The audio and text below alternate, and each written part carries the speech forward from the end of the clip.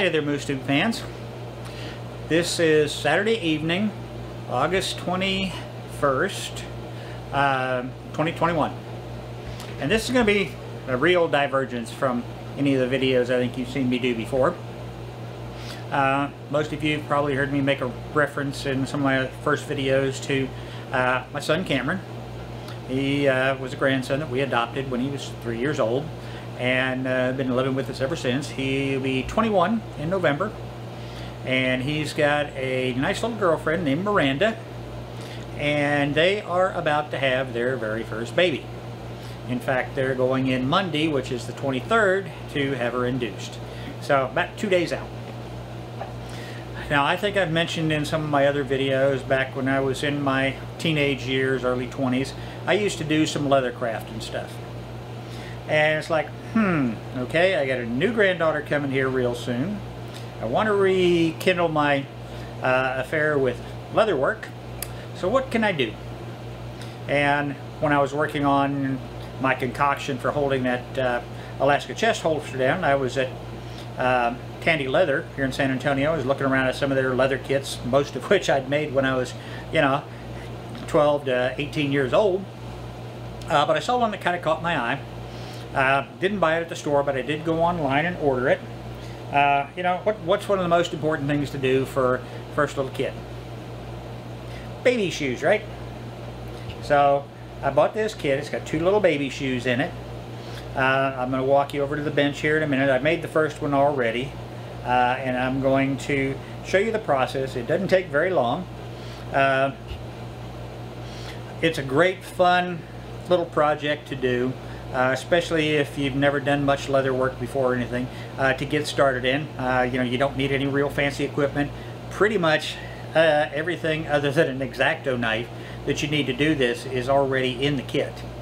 So uh, it's just a matter of reading the instructions. If you've ever sewn a button on, you can make yourself a pair of baby shoes for your first child or your grandchild. You know, I got a bunch of grandkids, and I never thought to do this for the others, and so my apologies to all of you. I'm not playing favorites just because this was going to be born and living in my house for a while. Uh, it's just the way life hit, and I'm getting back into doing this stuff. So I hope y'all enjoy this. Come meet me over at the bench. All right, we're back at the table, folks. Here's the completed shoe. And this is how simple this is. You've got the base piece, the one that builds the upper body. You've got a piece of pink leather since she is a little girl. It did come with blue and neutral, but in this case, and then waxed thread and the needle. All this comes in the kit. Now, what you do have to do is this waxed thread comes one great big long piece. You have to fold it in half and cut it. And the same thing with a little piece of red leather. Now I'm just going to kind of go over the basics in the instructions. This is the bottom of the shoe right here. Let's see if we can zoom in a little bit. Get That out there. Okay. Was, all the holes are pre-punched. Right here is hole number one. All right, the center hole on the bottom side. That's where you start. Here is your piece that makes for the upper of the shoe. Uh, I will scan the uh, instruction sheet uh, as part of this.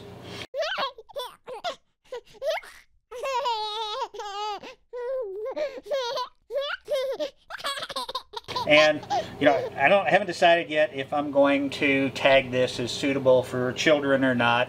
Um, I've never done one that way. But for parents, you know, if you've got kids that I would say are anywhere from 10 years old and up, and I think that's what this was rated, 10 or 12 and up. Uh, something they can do if you want to get them started in making a little bit of leathercraft, or you can do for kids or grandkids on the way. All right, so we have the base plate in place. Now on the back here, and I've already done this, uh, let me get this on here for where it'll show. Okay. Uh, basically, what you do is you count 29 holes in from here and mark the hole next to it and verify, starting on this way, come down, and this should be number 29. This is your center hole, so this is where you start with this piece. Now, the way that I start this, and let me, I'm going to try and zoom a little bit more here. Uh, if this gets to be too blurry or whatever, uh, I apologize. You start and come from the top of the base piece down. And you want to leave a tag end uh, three or four inches long. Now, we know where our base, our number one spot is. So what we're going to do is come through here, come down, and come back through that same hole.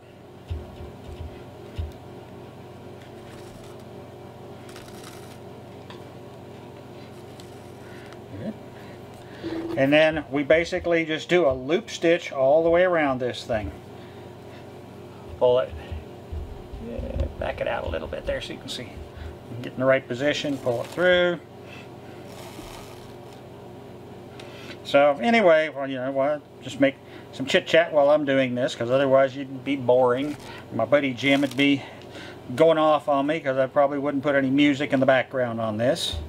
Um, but yeah, you know, I have got a boatload of other grandkids. Uh, Elizabeth, my oldest granddaughter, is she just turned 20 last month and be starting her junior year at uh, University of Texas Dallas. Got herself a really nice boyfriend, Addie. Uh, I've met him. He's another super smart nerd. That's basically the way Andrea, my daughter, classifies it as, you know, two, two nerds getting together. It was a perfect match. Uh, but great kids through my son Brian. Uh, he's got five kids. Uh, I don't get to see them very often. Uh, when I do, it's usually up in Dallas at my ex-wife Carrie's house. Uh, she and her wife will get the kids for a long weekend or something, and I go up and visit them. Uh, but Karis, his oldest, just started her senior year in high school. and the youngest, the twin boys, I think are probably getting close to five. You know, because of COVID, I haven't seen them in a year and a half. And they were about three then. And then through uh, my stepson Travis out in Utah, he's got two kids, two boys. And then this little girl is going to be named Ezra. I, I don't know why they picked the name. You know, it's their choice. Uh, Cameron said, uh, you know, one of the reasons is, you know, it's a unilateral name. So they didn't know when they picked the name whether it was going to be a boy or a girl. So that way, it works no matter which way it goes.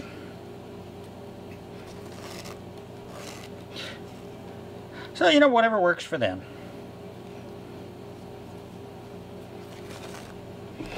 And for anyone who's going to ask, no, I don't know if they're going to uh, Alaska or not. And they haven't made a decision yet either. So, you know, it, it's whatever it is, it is. Whatever it isn't, it isn't. So, uh, that's just kind of how things go. Cameron really likes it here. He's got a lot of friends here. So, it's one of those, whatever.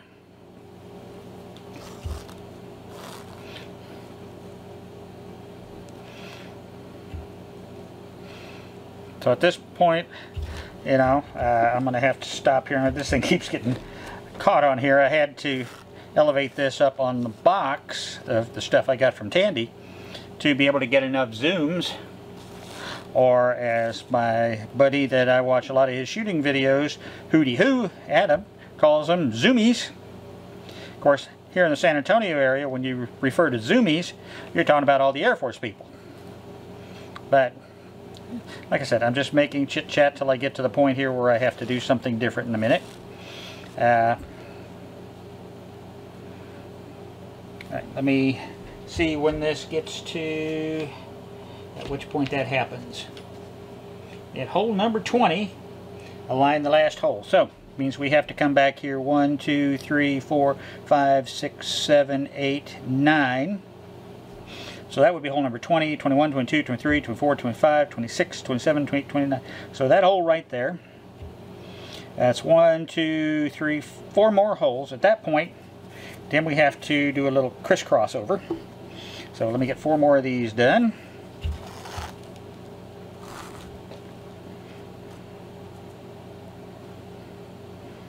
And this is just like doing carpentry work, you know, the old measure one, uh, measure once, cut twice. Well, in this time, it's read the directions twice before you do it once. So that was direction number one, reading. Alright, so back in 29, 28, 27, 26, 25, 24, 23, 22, 21, 20. Read it one more time. At hole number 20, align the last hole number 29 on the left side of the body piece with hole number 21. So again, 29, 28, 27, 26, 25, 24, 23, 22, 21, 20. So I go through one more.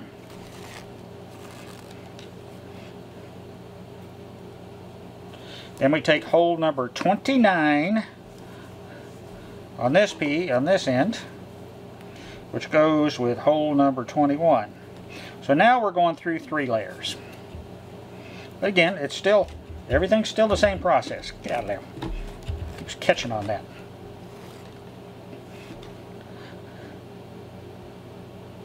And I don't pull it too tight because I know I've got a lot of room here to make this work. But, uh, you know, as far as I'm not going to run out of thread before I get to the back end. And when you get to the back end of this is really the trickiest part of the whole process. And that's tying this off inside the shoe.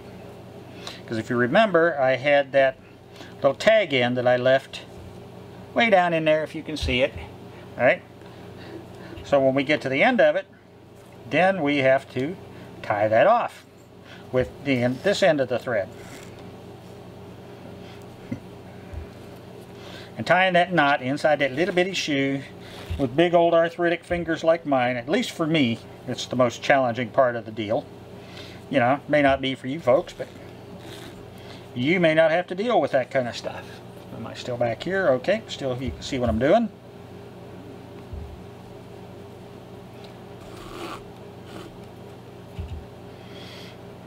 And one thing I'm going to do when I take this back in the house, but it'll be after I finish it.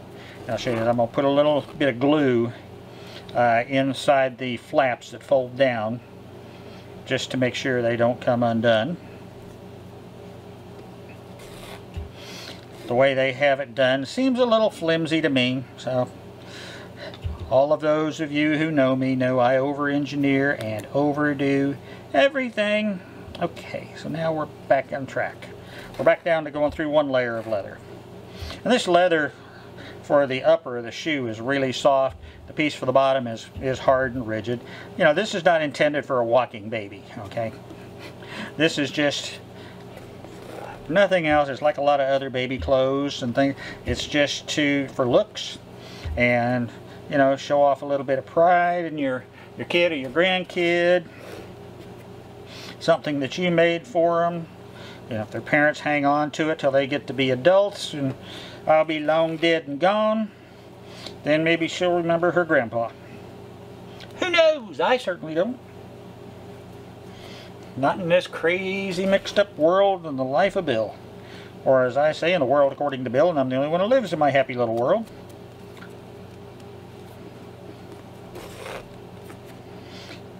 So I just kind of got to a point in life where I started doing things that make me happy, and hopefully it makes other people happy along the way.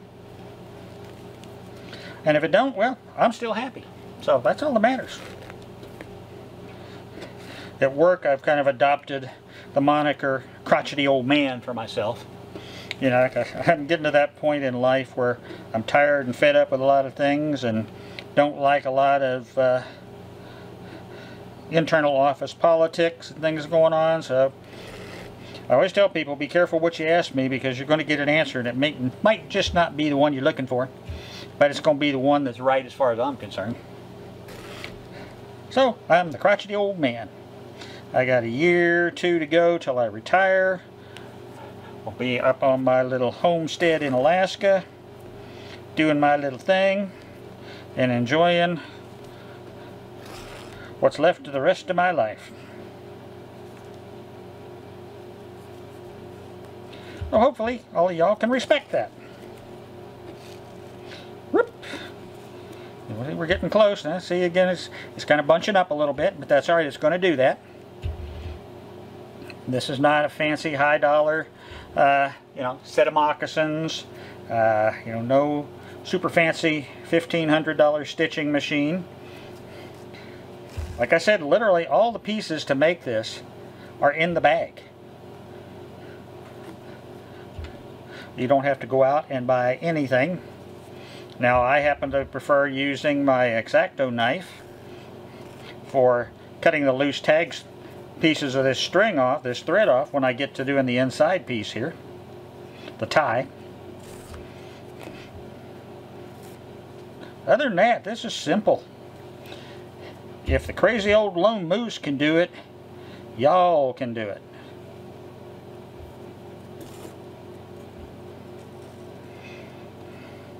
Don't say, oh, you've been doing this all your life. No, I did this when I was a, in my teens, in my early 20s, and then didn't touch leather work for 40 some years. All right, now, see how we just came through the last one? But we got to get this thread back in there. So for that same last loop, I'm going to go back through the white part only, feed this up,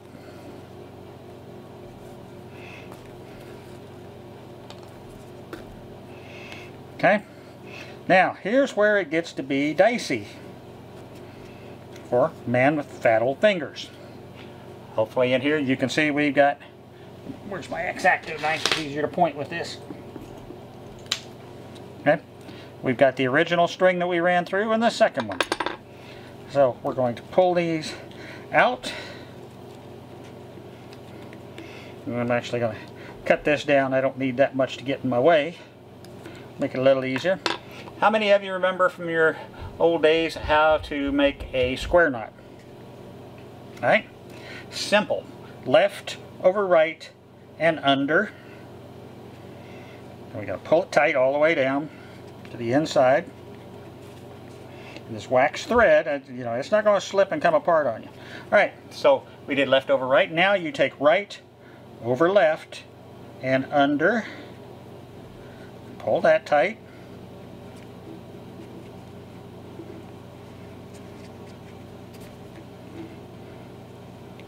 It's not there yet. Ugh. All right. When you get that done, I take my X-Acto knife, get this where you can hopefully see some of it. I know you won't be able to see all of it, but I get it right up to the edge of the knot and cut. And ouch! Turn it around where it's a little easier to work with right up to the other side of the knot. Cut! Done! We interrupt this video to bring you an urgent, important announcement. I screwed up. Okay, the way you just saw the moccasin there after I cut the strings with the flaps folded to the outside is the way it's supposed to be, not folded to the inside. That's not saying you couldn't do it that way if you wanted to, but, you know, like most real men, who reads all the instructions anyway, right? So, I was just about ready to give them to the kids and I noticed, oops. So I quickly fixed it and the photographs that follow here is how it really should have been. And the bow, you just run the pink leather through the two holes, tie it in a nice little bow and you're ready to go. So, you know how I, how I do things. If I screw up, I tell you. And this was one of mine. So, meanwhile, back to your regularly scheduled programming.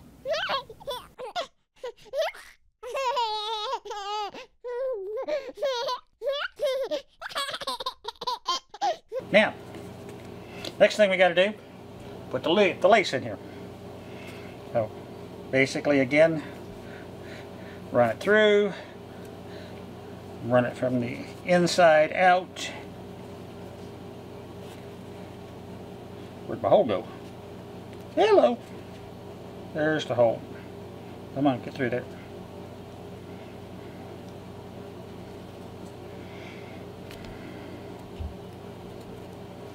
Boom. All right.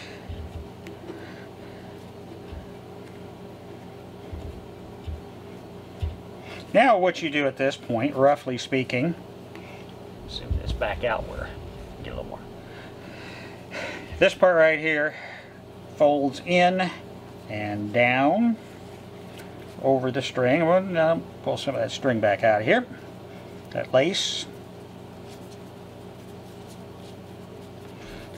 And this is where I said earlier, uh, before I give this to Miranda, uh, I am going to take and put a little dab of glue inside of here and inside of here on those two wings. And that way when the baby's foot goes in and out, it won't uh, hang up on there. And then basically just, see that's why, it keeps popping out of there. Tie a nice little bow, which again is very hard to do for someone like me with old fat fingers.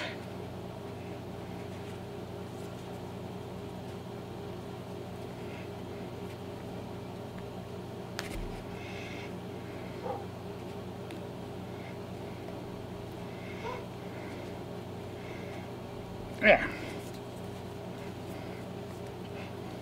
And we have one each pair of grandpa made leather moccasins for new baby Ezra. Now I hope y'all enjoyed this video. I know it was a little on the long side and tedious, but I wanted you to uh, you know see the process. And it's simple. Anybody can do it. If I can do it, y'all can do it. Uh, so, you know, I highly encourage you to, uh, you know, if you have any interest in doing leather work at all, reach out, you know, check out Tandy, I think it's tandy.com or tandyleather.com. They got all kinds of real easy kits. The kits come with great instructions. Uh, I've got a couple other kits that uh, I'm going to be making also uh, videos of here in the next few weeks. Uh, so kind of stay tuned for that. If you like my videos, you know, please hit the like and subscribe. You hit the notify bell, you'll know when I post more videos. Um, you know, if you have any thoughts or questions, comments, please leave them below. You know, share. Feel free to share this with your friends or post it to Facebook or whatever you want to do. Uh, you know, I'm, we're all in this together. My job is to share what little bit I know about things with y'all, and y'all's job is to give me feedback on, excuse me, feedback on it, and tell me what you think of my videos.